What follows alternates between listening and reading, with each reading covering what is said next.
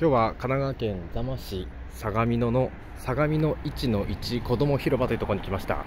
あのなんでここに来たかというとですね近くにエニタイムフィットネスというあのジムがあって、まあ、そこの近くで見つけたというところなんですが、えっと、都会の公園というか広場ってこんな感じなんだなと思ってちょっと驚いて見ています。あの活動の拠点私青森県なんですけども青森には多分こういうサイズ感のあの広場っていうのがあんまりなくてちょっとせっかくなんで見に行こうと思います。お邪魔します。でここなんですけどもこ小さい公園というか広場なんですがここに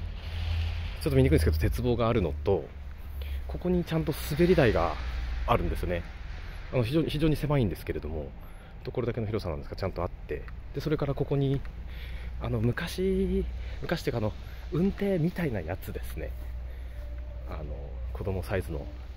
ちょっとここが円状に高くなってみたいな運転みたいなやつがここにあってでちょっとブランコもあります。ブランコちゃんと2個ついててちょっと見にくいですけどもあのー、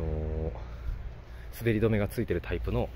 あのなんていうか座席みたいなのがついてるブランコがあってということで必要なものが大体一通り揃ってる公園でした。あの本当にこうこういったのってすごいなと思います。で、えっと、出入り口こっち側に1箇所と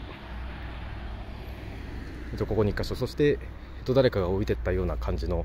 あの椅子もありますということで、えっと、ここ